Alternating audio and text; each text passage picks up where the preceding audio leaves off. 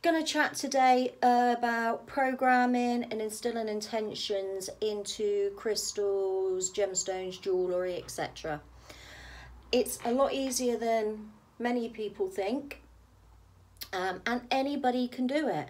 You do not have to be a Reiki practitioner, Reiki healer, um, a crystal healer, etc. to do this. Anyone can do it. It is a must though because when you go and purchase anything that has been in a shop, many people would have handled it and energy would have transferred into it. So for example, I've got a, a lovely piece of amethyst which I use to cleanse um, my crystals once I've done some healing. So I picked this up in a shop and how it works when you buy your crystals or your gemstones, you buy the ones you are most attracted to. It can be small, big. Even if it's small, it doesn't mean it's less powerful than this huge big clump there. They're, they all contain the same power. So when people go into a shop, they will pick it up, they will touch it, they will put it close to them. While they're doing this, energy is being released from their body into that crystal. If they don't like it, they put it back on the shelf. Next person comes along, picks it up, does the same. All of a sudden, that's filled with many, numerous people's energies. You don't want that. You want your own crystal for its own purpose. So when you when you bring it home, your best bet is just to cleanse it. And I've got a YouTube video on cleansing, which you can follow. And then program it with your own intention. So for example, I've got this piece of amethyst, nice piece. Um, this intention, I use this specifically for a quick cleanse on my jewellery. So how to cleanse and program. Pop it in your hands, cover up and just go, I program this piece of amethyst with the intentions of cleansing, clearing my jewellery.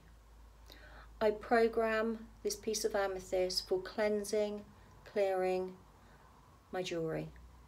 Just repeat it over and over and over again until you feel comfortable when to stop. It could be 30 seconds, it could be a minute, it could be a bit longer. It depends on how much energy is in it. So by programming it, that actually just gives it a bit of a boost and it goes, oh, okay, that's what I'm meant to be for.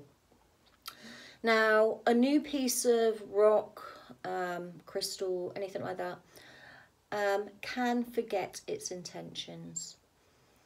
So the more you do its intentions, the better, especially when it's new. Um, and that's what it's used for. So I've got um, a lovely piece. I've got actually a few pieces of raw amethyst. These are used for meditating with. Um, I just put it in my hands or on my third eye when I'm led down or my heart chakra. And um, they come on in and I just use the intentions. I program this piece of amethyst with the intentions of calmness, soothing, relaxing my mind. I program this piece of amethyst with the intentions of calmness, soothing and clearing my mind. I go over and over until I'm comfortable with that.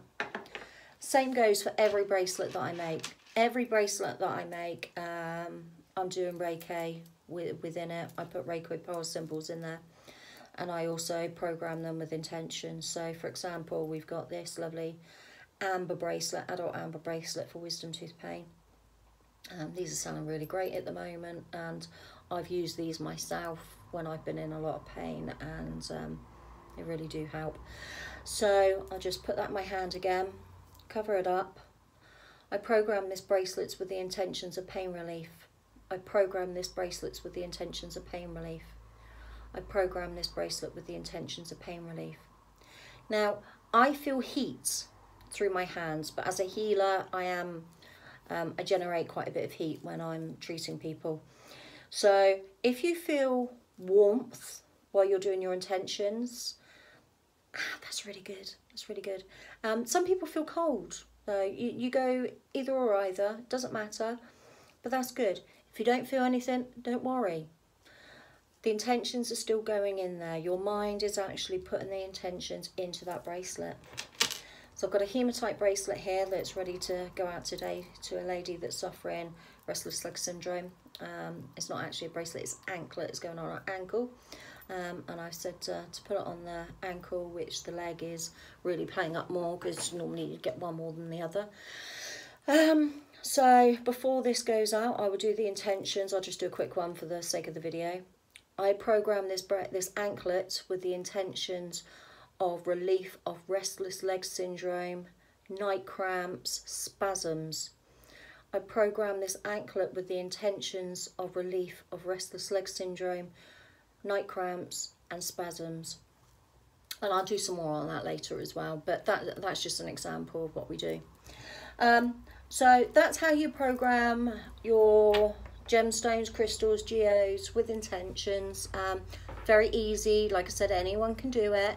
And um, after you've done a cleanse on things, it's um, it's always good to have that um, going on. So yeah, that's that that's how you do it. Nice and easy.